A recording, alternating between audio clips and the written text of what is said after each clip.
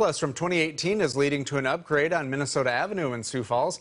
You've probably noticed the road construction on the major road between 11th and 18th. $660,000 worth of improvements are being made over two weeks. Construction is expected to wrap up during the middle of next week. Director of Public Works, Mark Cotter, says this area usually sees a lot of potholes. New pavement will help create a smoother ride going forward. It's an improved asphalt binder inside the mix that'll extend its longevity and also reduce cracking. It's Cotter says despite a rainy summer, crews have been able to improve roughly 700 blocks of roads in Sioux Falls over the past few months. A portion of 6th Street in downtown Sioux Falls is also getting a fresh layer of asphalt. Crews are working on 6th Street between Minnesota and Phillips Avenues. Work is expected to be finished today.